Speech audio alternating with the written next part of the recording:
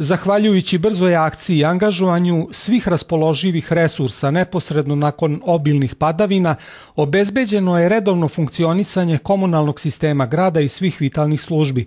Tokom protekla tri dana padavine su najviše problema izazvale u naseljima Kovilj, Klisa, Veternik, Sajlovo i Futog, a najugroženiji su Kovilj i Sečanjska ulica u Novom Sadu. Danas su radnici javno-komunalnog preduzeća vodovod i kanalizacija intervenisali na sledećim lokacijama.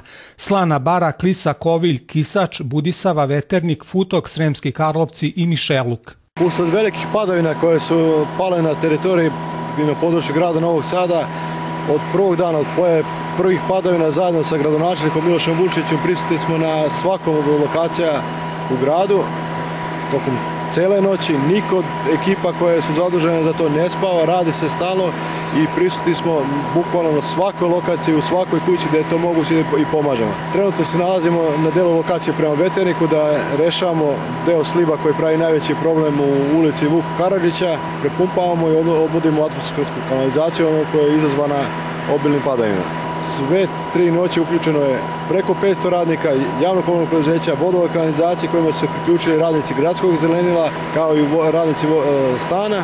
Isto tako prisutno je veliko angažovanje od strane vatrogasnih brigade i tako dalje. Stanje u Novom Sadu je redovno, sve ulice su prohodne, nismo imali, dan, iako smo i danas imali padavine, nismo imali problema. U Rumenku su danas stigla četiri kamiona Beogradske čistoće koji su upućeni da bi pomogli saniranju problema koje su izazvale obilne padavine u protekla tri dana u Rumenci na više lokacija gde, nas, su nastali problema zbog kiše je, su intervenisala javno-komunalna preduzeća.